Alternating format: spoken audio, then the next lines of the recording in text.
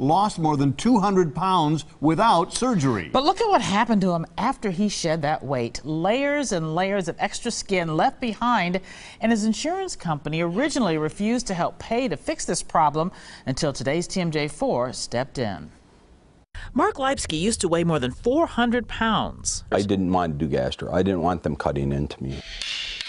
Mark's change was drastic and fast. He lost more than 200 pounds in two years the natural way. He made martial arts his exercise routine and then reached out to today's TMJ4 for help. What I actually need done is there's these lower panels, these side panels, it's all hanging skin. This is video of Mark last year. The skin was not just a cosmetic issue, it led to infections. Mark says it took numerous appeals and us getting involved before his insurance company agreed to help with skin reduction surgery.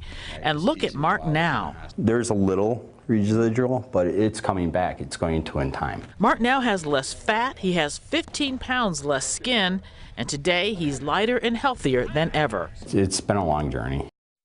Wow. And he's looking great. An amazing story. Now, Mark originally asked me to look into this when he could not get his insurance company to pay. If you have a story you'd like us to investigate, go to tmj4.com slash iTeam or find us on Facebook and Twitter.